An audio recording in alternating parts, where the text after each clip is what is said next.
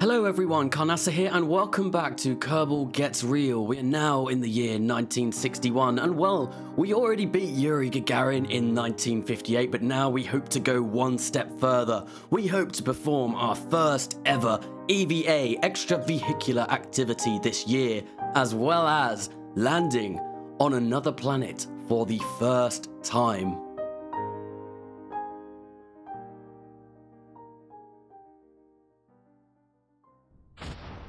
But before we get on with any of that EVA or interplanetary nonsense, we have Artemis LLP, launched on the 2nd of January 1961, the second attempt that we are going to do as a space agency to land a probe on the moon. We already succeeded once last year, but that contract can be completed five times, so you can bet we are going to try and complete it five times because, quite frankly, well, we get almost 500,000 funds every time we complete this contract, and every biome that you land in the moon at the moment with the scientific experimentation that I have got earns me about 160 science, which is, well, quite frankly, a lot of science to be getting for a mission that we have designed and we know is capable of doing that. So, yes, expect a lot of these launches in the coming well, couple of episodes because it is, it's just a great way of earning more funds and more science. But in order to earn more science, we are going to need to touch down in a different biome. The first lunar lander, I believe, landed in the lowlands, so of course we're going to have to go somewhere that isn't the lowlands. A bit tricky, but considering that most of the moon is lowlands,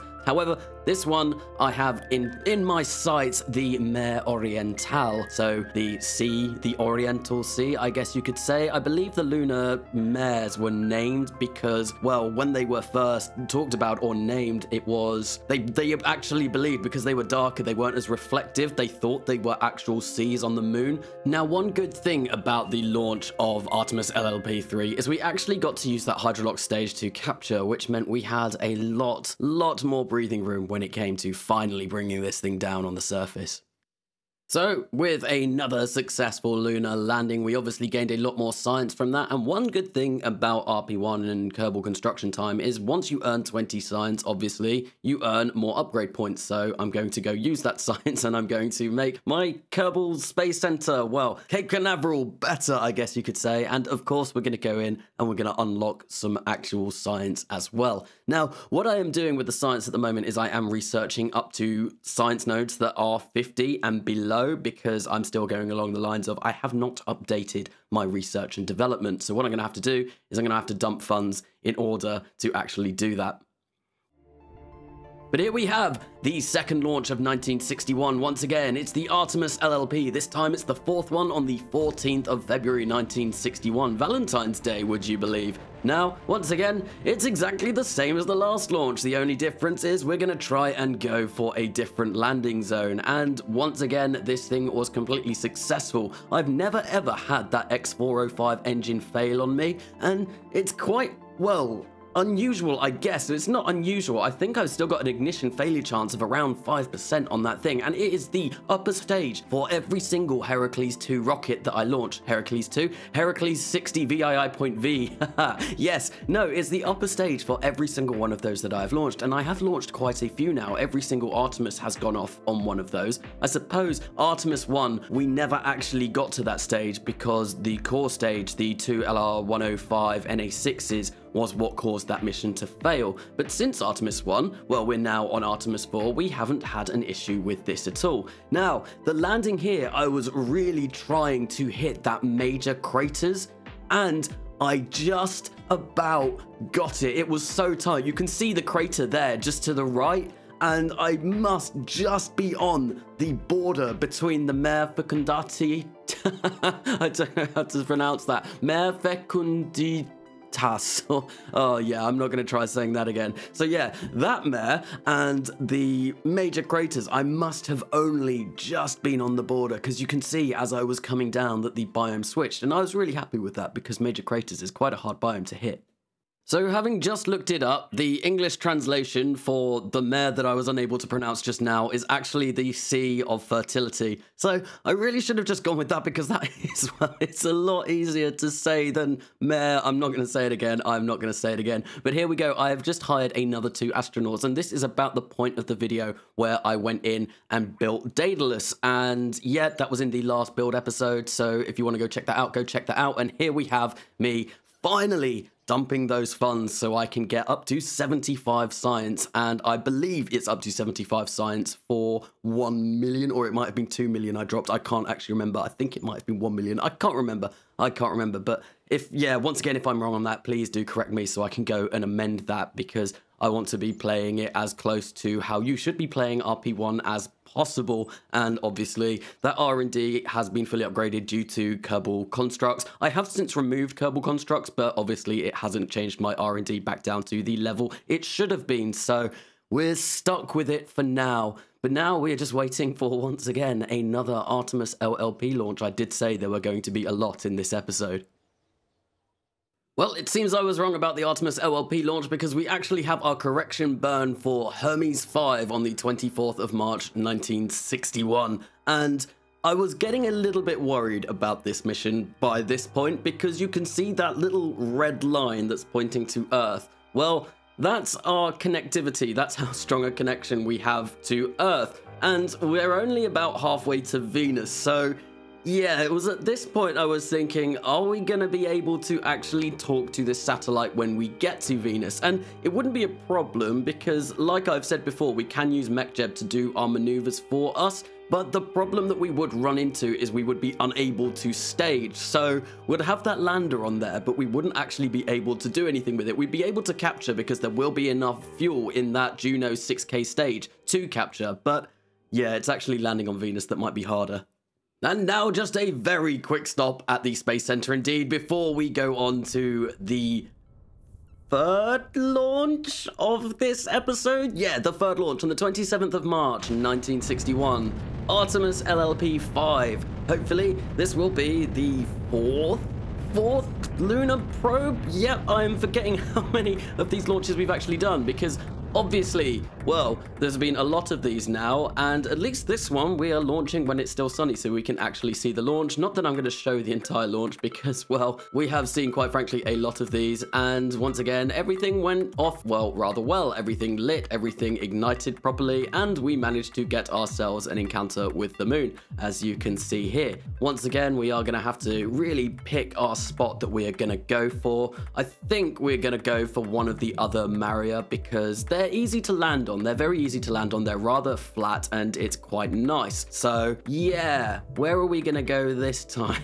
is going to be the question. And what am I going to do once I've exhausted these contracts? There is another contract that I do hope to pick up soon, and that's actually a return probe. So what we're going to do is we're going to land on the moon and we're going to take some scientific data and then we're going to actually fly back. But there we go, what a lovely little shot of that pale blue dot as we come down. Oh, no, it's not a Marriott, it's the Oceanus Procellarum. So yes, the Sea of Storms, the Ocean of Storms, I believe is the English translation for that. But here we are once again back in the research and development building because once again, from landing on the moon, we got an awful lot of science. But now, the Next thing on our calendar is going to be the launch of Daedalus 1, our return to crewed spaceflight. And that is very exciting because it's not just a return, we're also able to perform extravehicular activities, which is something very nice. There's a very, very tasty little contract that we can pick up for that, which gives us an awful lot of money. And I think I picked that up already, and that's what I use to actually upgrade my research and development building. But yeah, no, very exciting stuff because there is also more science to be gained from that.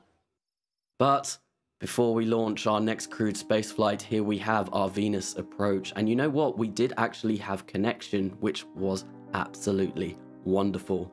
That means we can perform our capture burn at Venus, and then we can stage our little spacecraft, and we can finally reveal that little lander that we are going to attempt to land on the surface of another planet. That's a historic moment, an absolutely monumental moment to land on something so far away.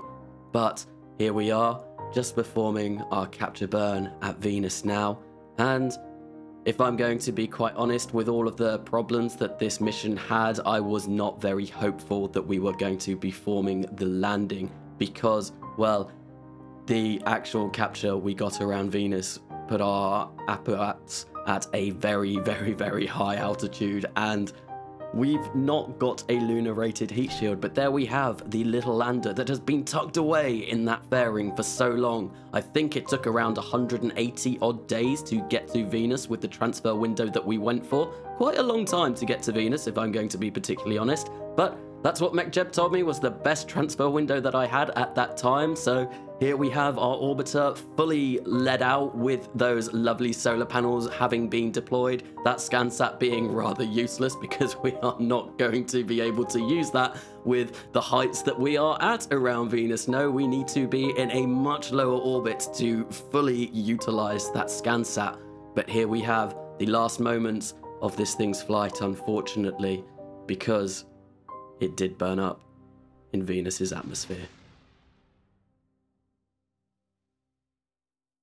Well, that, if I'm going to be perfectly honest, is a real down note because we have picked up a lot of contracts to land on Venus and do atmospheric analysis of Venus. So, yeah, we're going to have to really ramp up our Venus landing game. And the next Venus transfer window, we're going to have to design one that is going to be successful because otherwise we're going to run out of time on that contract and we will have to pay, well, quite a lot of money out because I think I picked up like three but here we have our return to crewed spaceflight. It is Daedalus 1 on the 12th of June 1961 on an Icarus 1 launch vehicle, that launch vehicle that we have designed in a build episode, and actually we designed Daedalus in the build episode as well. So yes, this is just a pure build episode rocket, I guess you could say. Now, the purpose of this mission, which is currently being piloted by Jane Adams and Karen Richards, one of them is going to attempt the first ever EVA, the first ever extravehicular activity and there's a couple of reasons for this. We got a contract for it, which has already given us an advance of 1 million, so that was rather nice. But of course, if we complete it, we will get a bit more payment. And, well, yeah, so money is good, but the other reason is we can get crew science by sending someone out to take an EVA report, which gets us another fair whack of science. So that's something else that we're going to want to do. But there we go.